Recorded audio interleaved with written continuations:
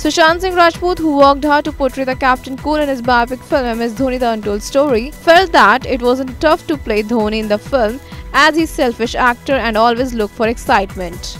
Tough इस इस वजह से नहीं होता कि हम एक्सपेक्ट करते हैं कि लोग क्या कहेंगे। क्योंकि मैं जब तक अ, अ, फ़िल्म रिलीज़ के कुछ दो तीन हफ़्ते पहले से सोचने लगता हूँ कि लोग क्या कहेंगे जैसे अभी मैं सोच रहा हूँ। लेकिन अ, तब तक मैं नहीं सोचता। तब तक मैं बहुत ही सेल्फिश एक्टर हूँ मैं सिर्फ़ अपने लिए करता हूँ। मैं एक्साइटमेंट देखता हूँ।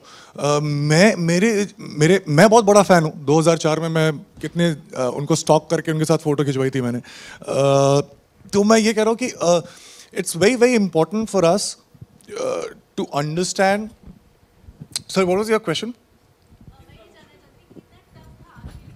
Ah, so, so exactly. So it was not tough vis-a-vis that. Uh, it was tough because the most important thing we actors are supposed to do is to convince ourselves that we are the characters. And since I had such a strong visual reference of Dhoni, so it was a very difficult task for me. So it was a complete immersion. So that uh, when I was shooting on the first day, I was not pretending to be Dhoni, I was Dhoni.